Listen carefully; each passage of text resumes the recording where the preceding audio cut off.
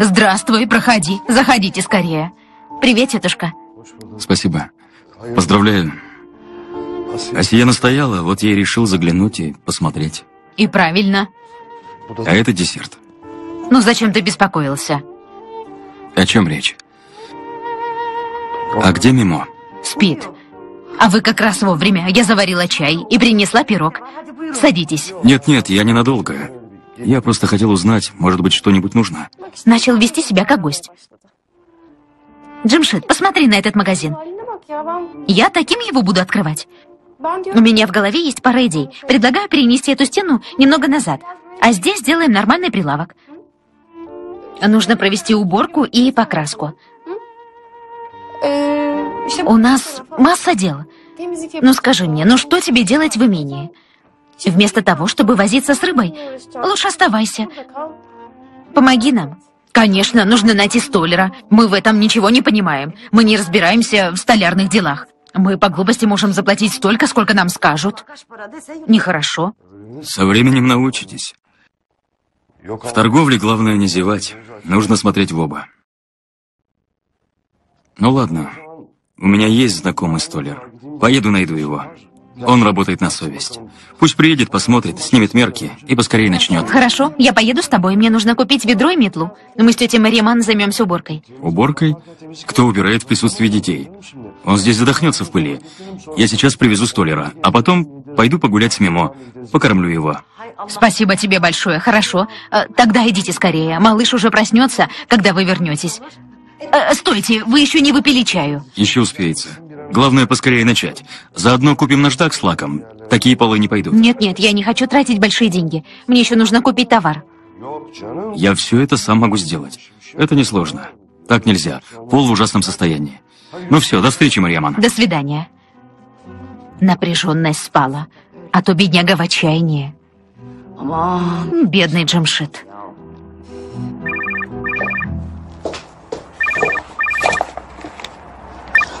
Алло, Салиха, как дела?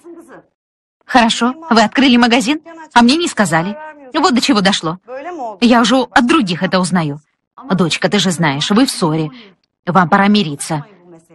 Слушай, покупай конфеты и приезжай. Асия будет рада видеть тебя. Она смягчится. Тебе ли не знать Асия? Ладно, я приеду, но ты ничего не говори ей. Мне другое интересно. Что там с разводом? Все кончено? Да, они развелись. Ну и хорошо. Тогда я приеду завтра утром. Скажи мне адрес магазина. Адрес очень легкий. Записывай.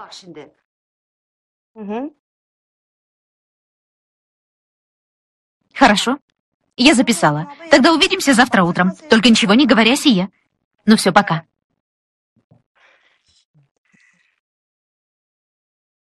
Алло, Ильяс? Я узнала адрес.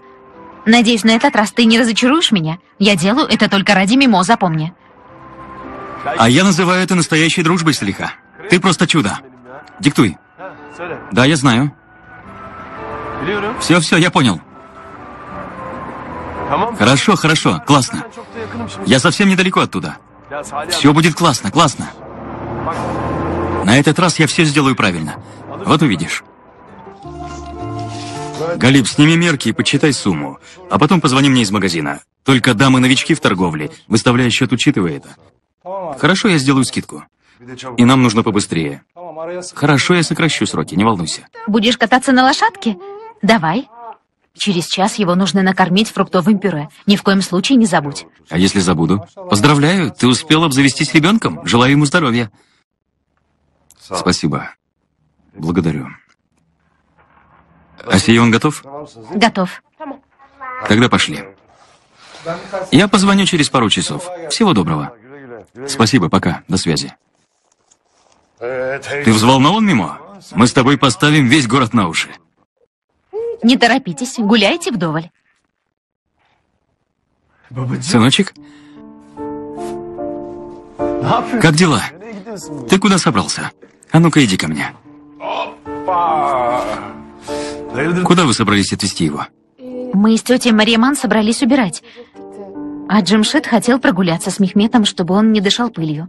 Нет-нет, пусть не беспокоится. Его папа пришел, и он погуляет с сыном. Правда, сынишка? У вас состоялся сегодня суд? Вы развелись? Да. Этим утром мы развелись. Отлично.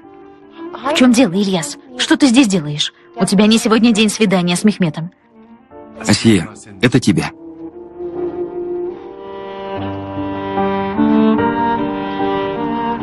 Спасибо, но если ты собираешься видеться с ним вне графика, то ты обязан предупреждать меня заранее.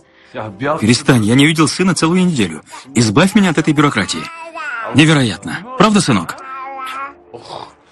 К тому же я пришел не за этим. Асия, давай выйдем. Прошу тебя, нам нужно поговорить. Ильяс, ты видишь, что здесь творится?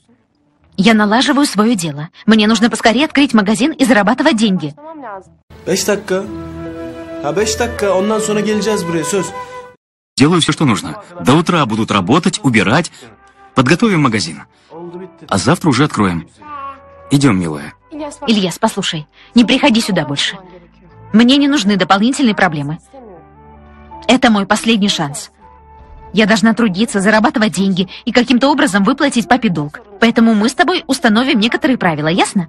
По-человечески. Хорошо, Асия, я понял. В таком случае я скажу при всех. С меня взятки гладкие. Ничего не поделать.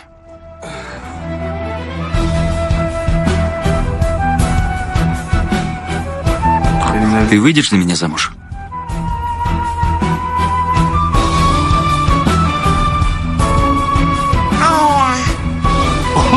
Сынок, постой. Что ты делаешь? Отдай кольцо. Ты хочешь вручить его маме? Верно, верно. Ты больше всех заинтересован в этом. Так отдай его маме. Пусть наденет на палец. Асия, родная моя, занимайся делами, открывай магазин. Делай, что пожелаешь. Но давай снимем тебе дом и как можно быстрее поженимся. Ну хватит уже.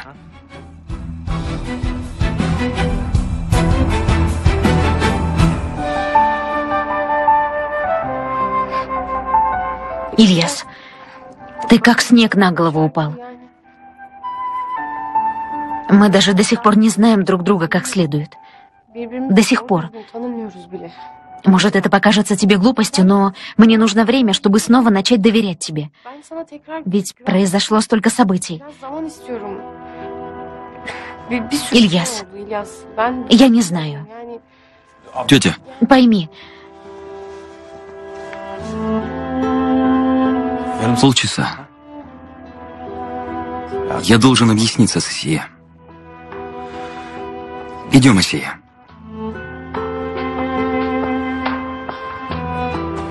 Идем, нам нужно поговорить. Ты должна выслушать меня, Асия. Я знаю, я уже давно должен был завести этот разговор, но... Но мы сейчас поговорим. И никаких возражений. Пошли. Я отвезу тебя в одно восхитительное место. А потом обещаю, через полчаса привезу тебя обратно. Сделаю все, что пожелаешь. Я решу все твои проблемы и дела.